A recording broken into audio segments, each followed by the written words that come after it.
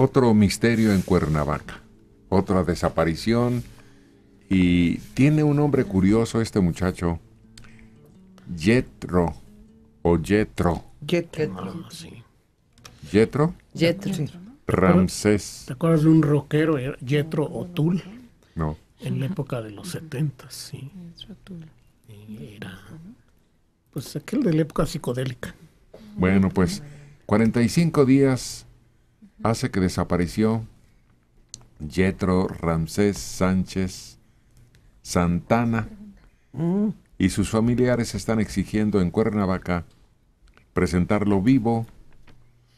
Y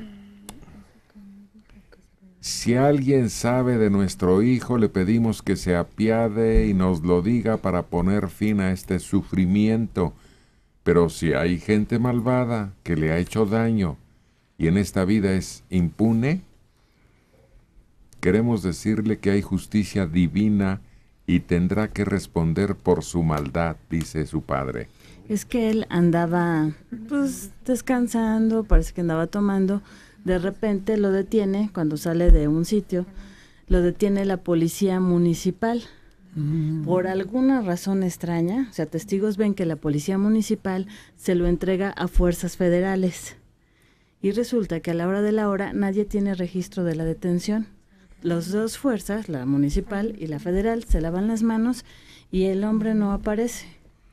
Los confundieron con sicarios o los vieron sospechosones, ¿no? Y entonces no andaba solo, lo detuvieron junto con su amigo Horacio Sánchez Castelo y a ambos los entregaron a la policía. Y el padre dice que no lo han puesto a disposición de las autoridades. Es un joven profesionista y estudiante que a nadie le hacía daño. ¿Por qué se lo llevaron y a dónde? ¿Y por qué no aparece? No encontramos paz, dicen sus familiares. Fíjate que el, el, tono de la declaración del papá da a entender que es alguien muy religioso. Y él, el nombre Yetro, es el nombre de un profeta de la, del Viejo Testamento. Hemos sido pacientes y confiado en las autoridades y las instituciones, pero no ha sido suficiente porque nuestro hijo no aparece por ningún lado, ni tenemos ningún indicio de su paradero. Creo que una vez más la discreción llevada al extremo ha impedido que se denuncie esta desaparición a tiempo. ¿Por qué? Son muchos días, Héctor, hablamos de 45 días. Han andado detrás, sí. detrás, detrás, sí. pero nadie les hace caso. Sí, han hecho manifestaciones, eh, han hecho este, plantones plantón. delante de la Procuraduría. O sea, la familia se ha movido bastante pero, y han jalado a muchas personas. Pero no hay en la laraca de un Sicilia. Ah, no. No hay no. un medio que, que, realmente les ponga los reflectores a ellos. Que somos de diferente categoría los seres humanos. Ahí se ve. Jetro es ingeniero en electrónica con especialidad en mecatrónica por el Tecnológico uh -huh. de Zacatepec. Cursó maestría en Administración de Negocios en la Universidad Latina. Cumple 27 años. Y reitera a la policía que ellos no saben. Pero parece que se entregó a policías federales de dos patrullas cuyos números están consignados. Temían que fuera miembro del cartel del Pacífico,